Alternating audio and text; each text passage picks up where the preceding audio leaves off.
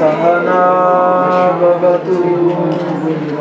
सवीर नक्तु सवीर्यं करववहै तेजस्विनावधितमस्तु मा विद्विषवहै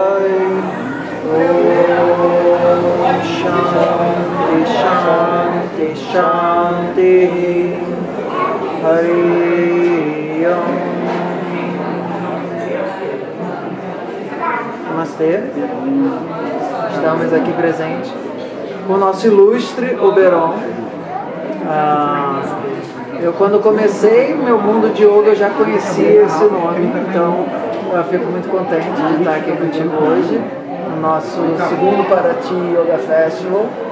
É, e a ideia da nossa entrevista de hoje, como todos os Namaste entrevista, é falar algumas perguntas zodiacais e você meio que passear a sua história com os assinantes do nosso canal e quem mais vem assistir esse vídeo, certo? Maravilha.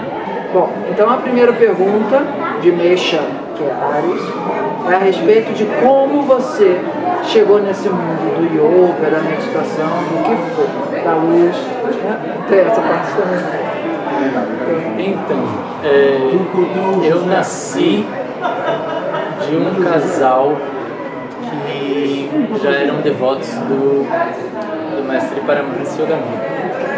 Eu nasci num lar que já se praticava yoga, no caso Kriya Yoga, meu pai é Kriya E aí começou tudo. Então eu comecei junto com esse começo. Comecei o nascido. É, comecei nascendo. E aí eu só fui integrando mais a minha história né, com o yoga e fui estudar para além do Kriya Yoga, que eu achei muito importante. Porque às vezes ali fica é, só o que o Yogananda fala e tal. Foi muito legal outras referências. E a segunda pergunta é sobre é, touro sideral, né, Vrishabha, que é muito sobre a relação dos nossos valores, relações dos valores que a gente aprendeu com a nossa família, no teu caso, como você já começou a falar, como você revisitou esses valores, como é que foi a sua primeira leitura com Kriya Yoga do Paramahansa, como é que foi a sua segunda, terceira, quarta, entre aspas, assim, como é que você foi aprendendo a ver o mundo de uma maneira mais inicial e de uma maneira um pouco mais vivenciada, vendo, é, tem isso daqui, isso daqui também é assim, isso daqui também é assado, essa coloração dos valores. Sim, bem importante isso, porque a gente cresceu de uma forma homogênea fora né, dessa do pensamento de massa, mas assim, todos os irmãos, é uma família bem grande, é, dentro desse formato que muito meu pai passava, embora muito universalista. Então a gente tinha muito Ramana dentro de casa, a gente tinha é, vários escritos de Rabindranath Tagore, de Gandhi, é, e escrituras também Blavatsky, coisas do, holismo mesmo. E, então a gente teve sempre muita abertura. Uma coisa que acompanhou muito a gente foi as visitas às, às fazendas Hare Krishna, isso na infância. É, o que aproximou a gente bastante do, de, uma outra, de uma outra visão. E com 18 anos mais ou menos, eu fui buscar o yoga para mim eu estudar o yoga é, a fim de, de entender as linhas de pensamento, né, os, os sadashanas e tudo mais. É, e com 20 anos fui à Índia e coroou essa história. E aí então foi. É muito legal. Fiz formação. A gente vai chegar nos seus 20 anos na quarta pergunta. Tá bom. Então, Mas nos 18. A pergunta de Mituna Arashi, que é gênero sideral, é relacionado a essa capacidade da gente, digamos assim, sair um pouco da casca, olhar para fora e falar, bom, tem várias coisas aqui no playground. Né? No teu caso apareceu Hare Krishna, etc e tal. E aí vem a primeira crise. Que é assim, o mundo não é mais monolítico. Começa a ter um problema de, digamos assim, integrar coisas que nem sempre se juntam tão fácil. Então você teve alguma assim um processo de epa, e agora, como é que eu junto o Lego? Posso adiantar as idades? Fica à vontade. Tá, porque assim, é bem mais recente, eu acho que de 2010 para cá, oito anos, vem sendo desconstruído tudo que foi a minha vida inteira. Tipo, entrei num processo de é, ascetismo, mas uma é, uma investigação meio pragmática, assim, sem, sem, tanta, sem tanto o, o bhakti, é, de até me decepcionar com muita coisa que eu fui investigando, investigando, investigando e no final das contas, puxa vida, acho que pode ser pode ser de um outro jeito e que não tem todas essas flores, não tem toda essa pintura, não é desse jeito todo. Então, foi tipo, vivi baques bem fortes assim de, de, de descrença não, mas de é, uma decepção por não ser exatamente como eu floria a minha vida. Aquela pureza, vamos chegar a Karkarashi, que é câncer sideral, onde tudo é puro tudo é lindo, tudo é maravilhoso, tudo é perfeito. E na Índia? Pois é. Onde é que estava isso na Índia? Como é que foi essa experiência de você chegar lá e ver aquele monte de coisa, aquele monte de experiência? Por incrível que pareça, Tiago, eu cheguei na Índia e os meus olhos estavam em cor de rosa. Por mais impactante que tenha sido, eu ainda olhava todo mundo com aquela pureza, todo mundo faz yoga, todo mundo se trata com Ayurveda, todo mundo. Eu vi assim, todo mundo medita, jamais um agride o outro, a vaca está na, na rua porque respeitam todos os seres e passei cinco anos quando eu fui imergir na Índia mesmo, que foi em 2010. Ok. Produção, pega aquele livro lá deles, o Viajando, pra gente mostrar aqui na gravação. E foi mais ou menos dessa, dessa que começou história a que foi esse um primeiro. Mas esse foi a história onde nasceu o primeiro livro. O, o primeiro livro da minha primeira ida. O primeiro é. livro da primeira ida, que é o. quiser trazer os dois, É. então. Traz os dois, por favor. Que é o Viajando na Luz. Viajando na Luz, é o primeiro. Esse é o primeiro. É, cheio de fantasias, cores e. Lá o câncer em seu esplendor, É. assim, tudo lindo, Tudo lindo. tudo caetano, Sim. tudo maravilhoso. Desse Ok. jeito. É. Ah, e o teu segundo livro é o No Fluir da Felicidade. No Fluir da Felicidade. Isso. Então, o primeiro livro, esse, o da época câncer, tudo lindo, maravilhoso. Lindo, maravilhoso, Viajando na descoberta, luz. entregue. O que foi muito legal, porque eu estava tão aberto à, à pureza deles que hoje eu vejo que um monte de coisa poderia ter dado muito errado devido à minha confiança, mas não, não, teve, não teve medo, então não- acho que não atraí. Foi tudo fluido mesmo. O segundo, já eu encontro outra ainda. Vamos chegar nele, É. lendo no escorpião. As coisas começam a se transformar. Aí, a pergunta 5 de Sim Harashi, que é o Leão Sideral, onde a gente começa a, depois que passou daquela beleza toda de câncer, começa a falar assim, eu preciso encontrar eu mesmo nessa história. Preciso amadurecer todo esse ideal perfeito, etc.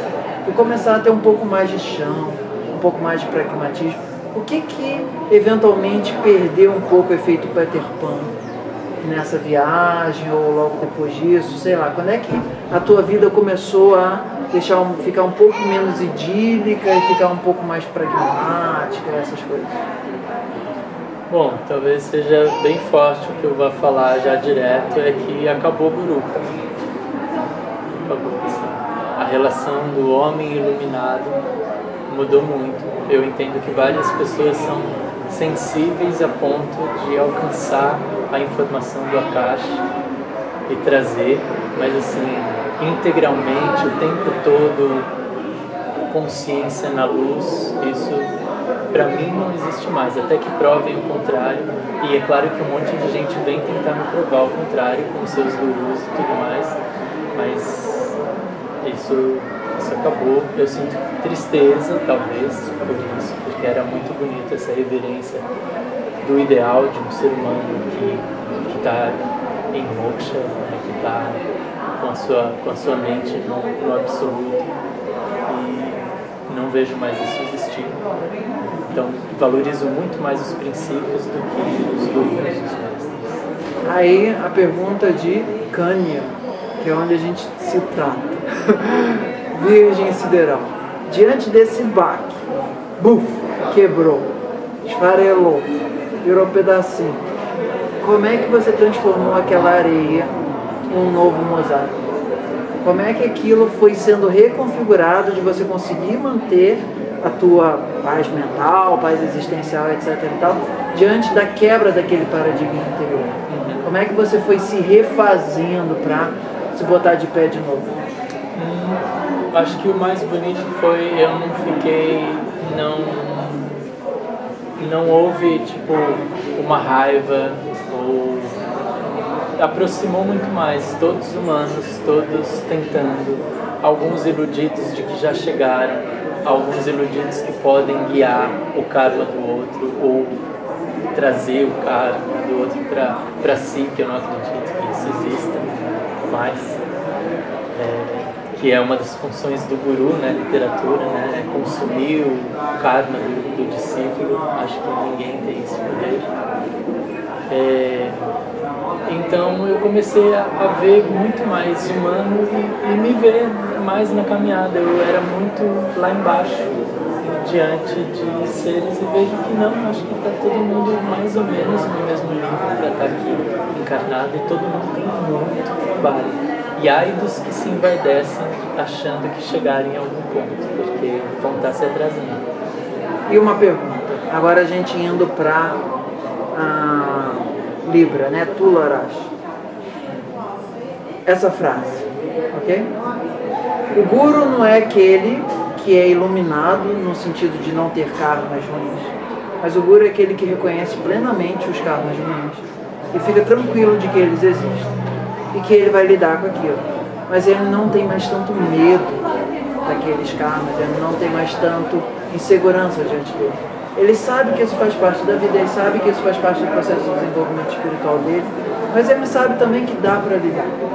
Essa visão de Guru te parece fazer sentido no mundo que você vive? Acho que sim. Eu tenho visões de Guru que me fazem sentido, né? Mas assim, para o que a massa geralmente reconhece o guru, é, isso para mim é, se diluiu. Mas eu ainda tenho essa ideia do guru como um professor que mesmo reconhecendo os próprios erros é aquela pessoa que diante de você não vai deixar de tentar né? e que pelo exemplo te comove né, te, te, te puxa. Então a gente pode dizer que a grande quebra ali da imagem foi daquele guru super idolatrado, super divino, super tudo. Exatamente. Que na Índia é, tem, muito, é muito, comum. Muito, né? muito comum. Então, é, muito da, da desconstrução foi isso. E até nem só na Índia, a gente vê que alguns gurus produzidos na Índia chegam aqui e as pessoas viram, é, endeusam. E às vezes a pessoa, guru, nem quer se colocar nesse lugar. Né? E os devotos, aquela frase, né? O guru é feito pelos seus devotos. Os devotos Até o Buda não conseguiu escapar, né? Dessa, então, pô, ele fala, não me façam isso, aí tipo, não deu certo. É, coloca no pedestal de verdade. Então eu vejo isso assim, esse esse guru se desconstruiu para mim. Não sei se é arrogância minha, não sei se em algum lugar eu eu tô querendo me colocar próximo deles e não tenho nenhum direito disso, mas assim, no meu na minha viagem, né, que foi, né? foi um processo é, de estar perto e tá vendo o cotidiano. É, acabar um pouco com a ideia muito romantizada do mundo, talvez, né? Sim, sim. Isso bastante. Sim.